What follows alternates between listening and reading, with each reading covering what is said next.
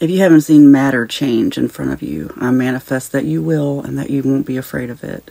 Please scroll on if you don't want to hear this. I know this video is going to go to exactly who it needs to go to. Some of you are going to know exactly what I'm talking about. My entire life, I've had weird stuff happen to me that I couldn't explain. And especially when I was a kid. It's like I would have premonitions, or what I thought were premonitions. I now see things differently just stupid little things like I knew a glass was going to break, like fall into the sink and break, and it would. Just stupid little things like that. And it happened so much that after a while I would I started telling people about it, but when I tell people it wouldn't happen.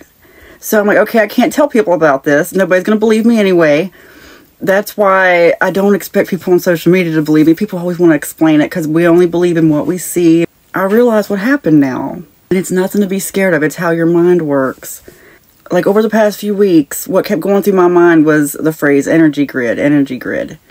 A whole bunch of stuff related to energy grid and about how we're all connected. Then across my feed came Lee Carroll. He channels a being he calls Kryon. Now, now, when we talk about channeling and people channeling all this stuff, and you know, some people talk about archangels or other other beings that they channel or whatever. These aren't things to be scared of either look within. I'm just telling you, I'm just relaying information to you. I want you to look within. That's what I'm trying to tell you. The power is inside you.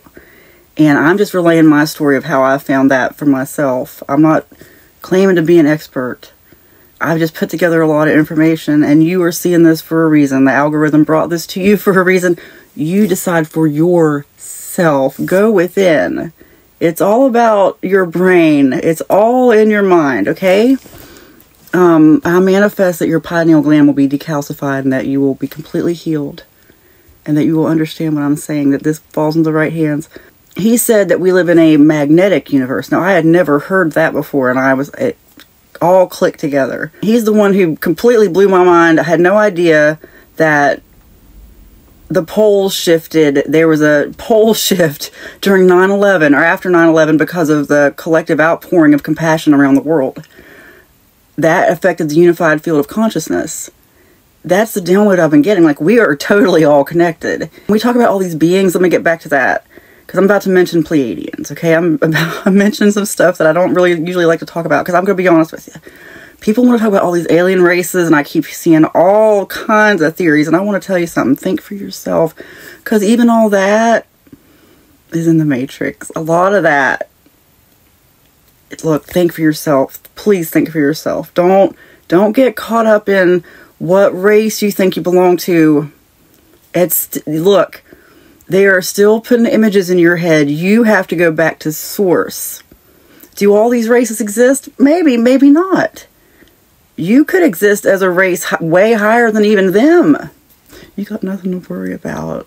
Might there be some beings or angels, demons, some people call them Pleiadians, Arcturians, guys, you are a multi-dimensional being so much higher than even that. So you need to think for yourself. That's what I mean. It's it's about us gathering information. I'm just here to gather info and just spread it on. Just like he did for me and your mind draws it in. Certain things like when I say matter, I hope you see matter shift in front of you. Okay, the reason like things wouldn't happen when I told people was because it would have affected a timeline. It would have it would have been a plot twist that wasn't supposed to happen. It would have been a plot point. God is the ultimate writer, the ultimate creator. I am. He spoke, I am, and it, here it is. Okay, at least according to the Bible, which was manipulated by man, you know, like, produced by man, to make sure that, you know, especially a lot of us, like, we get saved, if you want to call it that, and then suddenly religion comes along and just smacks the joy out of us with a Bible that was published by man that had some truth in it. I love you too much to, to lie to you. Okay, I'm I used to believe like you if you were offended by what I just said. But what I'm trying to tell you is this. There's a theory, you know, you'll hear Pleiadians or anybody who mentions Pleiadians, you'll hear talk of a living library.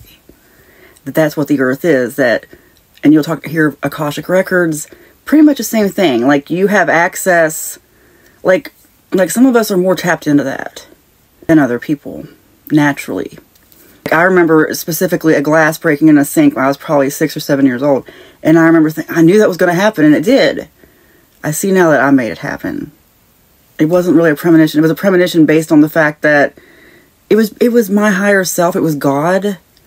It was God telling me from the other side that my mind was doing this. It was a whole string of stuff that has led to this at now my age of 48.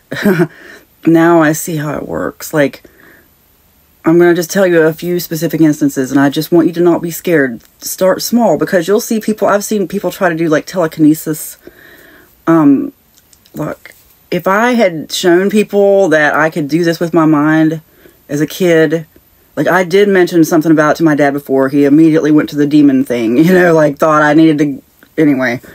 There's nothing demonic about it. It's just how the universe works. Your mind is a magnet. We were tricked by these fallen entities to they've tricked us into creating all this for them. Okay, this living library, like that's why it is the way it is. Is it'll make sense at some point, but it's a it's an energy grid. And Kryon, Lee Carroll mentions this. Jesus talks about this. It's all like there's just so many mentions of it. Here's what happened to me today. And I don't even care. I don't care if you don't believe me.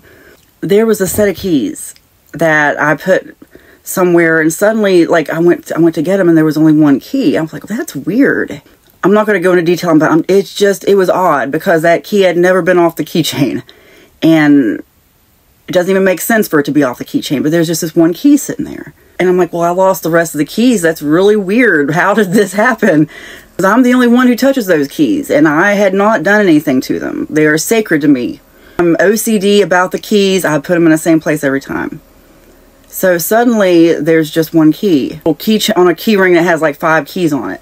So I take that one key and I hold it sacred. I'm like, what in the world happened? But I really didn't think too deep into it. For as a content creator, when you've got a bunch of videos to make, like you can't always afford to let your imagination get out there. That's why I don't DM do DMs and stuff. I can't afford to let my emotion, my consciousness get taken up by something. So I didn't let myself overthink the key thing. Okay, I went about my business, did something else, came back with my single key. I was just about to start the search for the rest of the keys when suddenly there appeared where they were supposed to be the rest of the keys. I look, I I don't even want to talk about it really because you wouldn't believe me.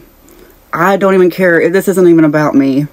It's, it's about you. I just pray, I manifest that this will happen for you and that you won't be scared of it because it can happen for you and it's not evil. Look, that was God's way of just getting my attention because I needed to have my attention got and I was like, why a key? You know, that's weird. Like, is there some message, some kind of significance to a key? And then I was, as I'm thinking that to myself, I looked down and here's a book I wrote called Your Imagination Key that I forgot about that I've been really been reminded, Spirit has really been reminding me lately, get that back out. And I could tell you where to buy a copy if you want one, but you really don't even need it because I'm going to go over on this channel. This looks probably like the dumbest thing you've ever seen, but this is how it works, guys. This is you. This represents you, this generic user, user photo. Abundance flows to you. This works on your reticular activating system. You just saw abundance flowing to you. You saw it in a very remedial, very simple way, but you saw it and you can never unsee it. Abundance is flowing to you. Abundance flows to you all the time. You can't even stop it. You're stuck in the flow. You see that? This workbook has all kinds of stuff like that. And I'm not trying to get you to buy anything. Like I said, I'm going to go over the whole thing here. It's called Your Imagination Key, but that is how we manifest. Anyway, I want to tell you about another experience I had like this a couple months ago. This cobweb, like hanging on the back of like a railing. And I just had this thought. I'm like, well, why don't I see if I can just shape that with my thoughts, like make it dissolve, make it go away, because it's some stupid little thing that's not going to affect anyone else's plot line. Like I said, living library, you're living out a story, you are a character in a story. Like, rest in peace, Dolores Cannon. If you follow her teachings, she said that the that what they tell her from the other side is that we come here to experience everything. Like we think there are 12 different races and all this. I come from a crazy time when they used to say this thing called there's only one race, the human race even in college, they used to teach that. Sociology class, they would teach that. They don't, I don't know if they teach that anymore. But when you start talking about the races, even like the alien races, you're still talking about lower dimensional stuff. What if you're of a dimension higher than that? You just forgot. Anyway, I pointed at a cobweb and I just thought about it. And I said, make the cobweb go away. And I just thought about it with my thoughts. And the cobweb went away right in front of me because it was a stupid little inconsequential thing. And I'm sure if I had my camera out, it wouldn't have happened.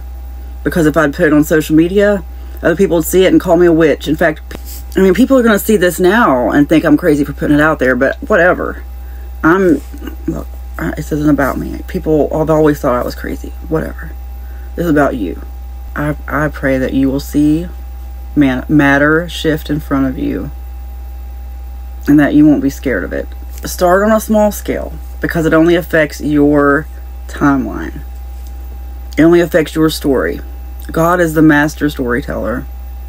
When I talk about God, I am talking like a law of one, universal consciousness, Christ consciousness type of way. Anyway, um, it's time to ascend, guys. The time is here. It's exciting. It's time to imagine the new earth together. I'm telling you, I know. Look, I'm not the only one who has to do it. Look, just to sit and just imagine world peace. Imagine it with other people. Imagine what that feels like before you go to bed tonight. And who knows how you'll wake up tomorrow. Look, I'm telling you, it's we can imagine world peace. We can shift this. The power is all in our minds, collectively. We are here for such a time as this. Some of us are here to do this right now. That's why we came here. You have no fear. It is spoken, it is written, and so it is. Amen.